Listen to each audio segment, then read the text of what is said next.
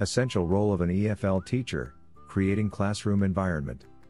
Teachers also play an important role in the classroom when it comes to the environment. Students often mimic a teacher's actions. If the teacher prepares a warm, happy environment, students are more likely to be happy. An environment set by the teacher can be either positive or negative. If students sense the teacher is angry, students may react negatively to that and therefore learning can be impaired. Teachers are responsible for the social behavior in their classrooms. This behavior is primarily a reflection of the teacher's actions and the environment she sets. Thanks so much for watching.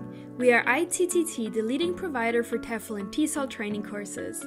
If you like this video, please subscribe by clicking that button down here and click on any of the videos here on the left for more interesting teaching tips for getting certified to teach English abroad and online.